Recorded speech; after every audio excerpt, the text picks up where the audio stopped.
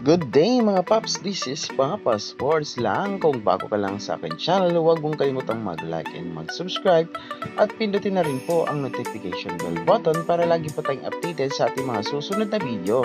Salamat!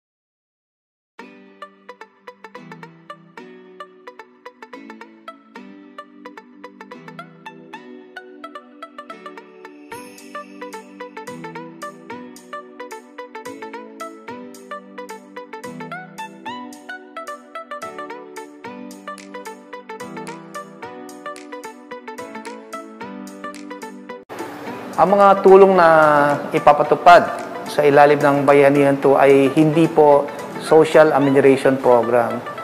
Hindi ito karugtong ng SAP dahil iba ang mga benepisyaryo at tulong na ipapahatid.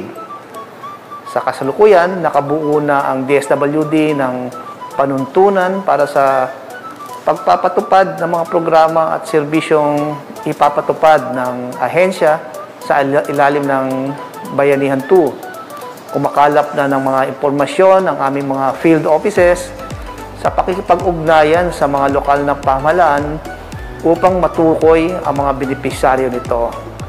Ang kumpletong detalye ay ating ipapahayag sa susunod na linggo.